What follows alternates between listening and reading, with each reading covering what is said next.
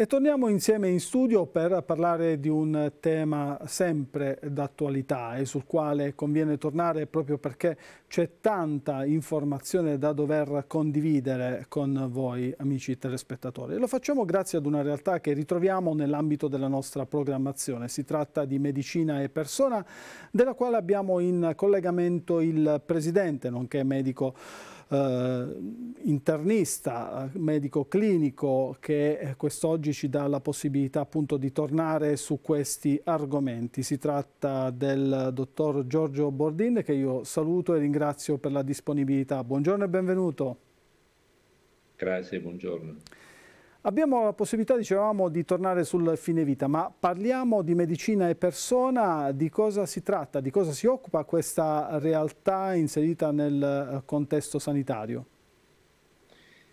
Medicina e persona eh, nasce già nel 1999 con l'idea di sostenere il valore e il significato della professione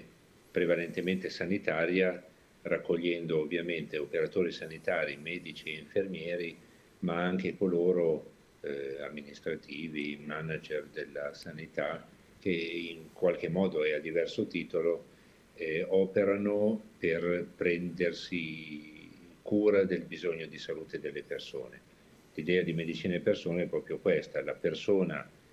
al di là del malato è proprio la, la persona di chi lavora in sanità, il professionista, e noi riteniamo che ci sia bisogno di un'amicizia, di una compagnia e di un aiuto fatto anche di approfondimento culturale, ma nel senso più ampio del termine, per poter reggere quello che è un lavoro affascinante,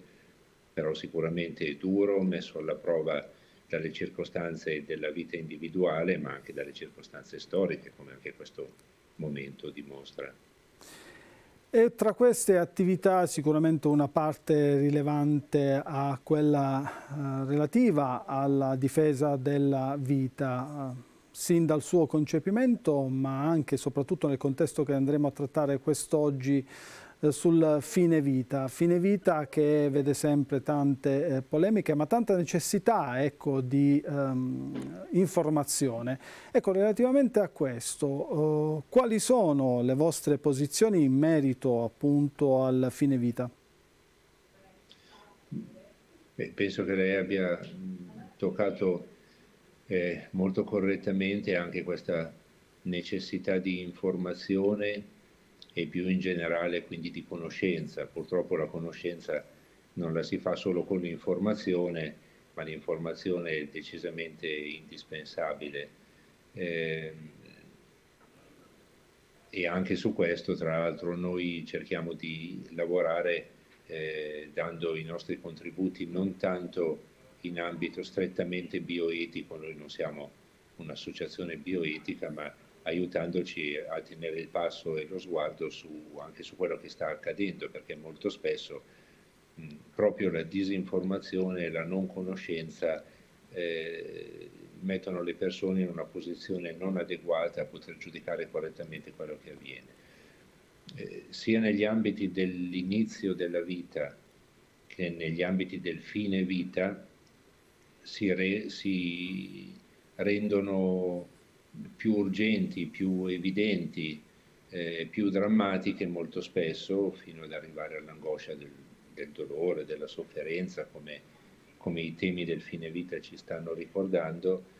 quelle che sono le domande in realtà sul fine della vita, cioè sul suo senso, che dovrebbero essere domande che, che vive eh, in ogni momento della vita, anche quando si sta bene. Purtroppo noi spesso ce le dimentichiamo e alcune circostanze ce le riportano in faccia e ce le fanno diventare così evidenti, così importanti. Per questo noi abbiamo sempre ritenuto di, che parlare anche del fine vita vuol dire in realtà parlare della vita, parlare del bene, della possibilità di bene e di compimento che la vita è, indipendentemente e al di là anche delle circostanze più avverse. Questo è il motivo per il quale eh, interrompere, eh, interrompere un, una vita, non solo un bene indisponibile come recita il Magistero della Chiesa, eh, ma togliere questa, questa possibilità di eh, poter eh, essere aiutati fino in fondo a, a, viverne il buono che non può essere tolto da nessuna condizione è per noi indispensabile. Ogni altra soluzione frettolosa eh, non è neanche tipica della medicina, perché la medicina nasce per cercare di guarire e si rende conto, si è sempre resa conto che eh, anche quando non può guarire, eh, anche quando c'è il fallimento come dire, scientifico, biologico della possibilità terapeutica della medicina, eh, la medicina non scappa, sta e rimane a fianco della persona malata. Anzi, eh, la medicina storicamente è nata, eh, quello che noi nella parola medicina possiamo intendere come più ampia realtà sanitaria, di gente che si prende cura degli uomini malati, è nata proprio come assistenza, è nata storicamente da persone che vivendo la loro identità cristiana, come documentato nei primi secoli del cristianesimo, si prendevano cura dei malati anche se non avevano in mano reali possibilità di guarigione, proprio perché la cosa importante era far compagnia eh, nella compassione e nella commozione, cioè nella possibilità di vivere lo stesso bisogno che il, il, il malato eh, denuncia nella, nella, sua malattia, nel suo bisogno di salute, che insieme al bisogno di salvezza, poterli vivere dentro l'assistenza e dentro una compagnia si spera il più possibile efficace e quindi attrezzata delle armi che la scienza ci ha messo in mano per poter in molte situazioni anche guarire. In realtà anche la guarigione biologica non è sufficiente spesso e l'uomo ha bisogno di essere preso sul serio nella propria condizione intera. Ecco dottore, noi abbiamo mh, parlato di questo tema in maniera, uh, come dire, eh, generale. Sappiamo che sono tante le materie che possono essere chiamate in causa, oltre a quella eh, relativa a un discorso religioso, quindi di fede c'è ed è fondamentale l'aspetto scientifico, l'aspetto giuridico. Ecco, sul eh, fine vita quali possono essere le vostre considerazioni sotto l'aspetto giuridico? Ecco, sono sempre eh, attuali le notizie relative ad una legge che eh, dovrà regolamentare questa, um, questa realtà. Ecco, a questo proposito cosa ci dice? Beh, la sentenza della Corte di Cassazione è più o meno nota a molti, si è espressa eh, dichiarando eh, l'illegittimità di un articolo della Costituzione nel punto in cui eh, considera eh, punibile ehm, l'aiuto al suicidio e indicando che questa, non, questa punibilità eh, può essere esclusa in alcune situazioni che la sentenza ricorda, che sono quelle eh, di un dolore, di una sofferenza intollerabile in persone che sono eh, tenute in vita da trattamenti straordinari eh, e particolarmente gravosi. Ehm, la stessa sentenza della Corte di Cassazione eh, indica la necessità che venga colmato un vuoto legislativo e questo ha dato il via ad un'azione che eh, noi siamo certi terminerà eh, certamente in una legge,